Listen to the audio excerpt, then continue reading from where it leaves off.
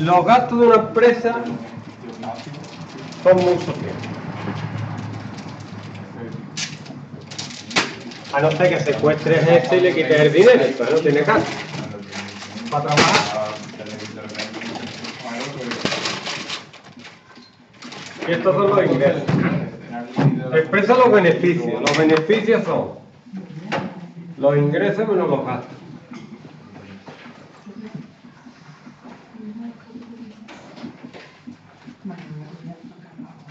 ¿Vale? Bien. Dice, ¿cuántos televisores deben fabricarse para que el beneficio sea máximo? Vamos a ver, ¿el beneficio qué tipo de función es? Fijaros bien. La policía. Corenciano. No. Ah, es una parábola. Es una parábola.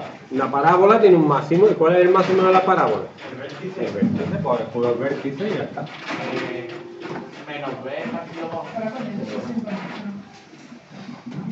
Ya lo sabéis, una vez que lo sabéis, no digáis lo que dice la gente, es que yo no, no lo hubiera sacado nunca, no, pero ya te lo han dicho, ya lo tienes que saber para los restos.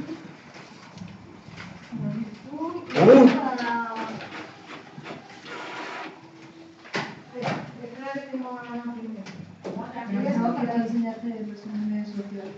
Gracias. 625. Entonces tiene que vender 625 unidades para obtener los máximos beneficios. ¿Cuántos? Ese problema no lo pude, ¿verdad? Que es de tercero de eso, que se lo tengo que dar ahora. Ya. Pero ese es el apartado B, ¿no? Este es el B. Ahora, ¿cuántos televisores deben fabricarse para que no haya pérdida? Que no haya pérdida es que el beneficio sea cero, ¿vale? Que no está igual a cero, no pérdida. No, no te puedo decir, tienes que esperar. Tenemos una cosa pendiente.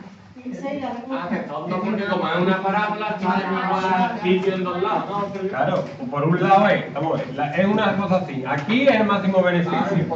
Y aquí y aquí es que no es cuando empieza a. Y el menos de aquí ya pierde dinero. Que es como hacer los puntos de coste de la parábola. Yo voy a ver para ver la, la, la calculadora que me lo hace. La otra es la mejor, la que me robó el hijo puta. No estoy, no, no estoy viendo un pago real.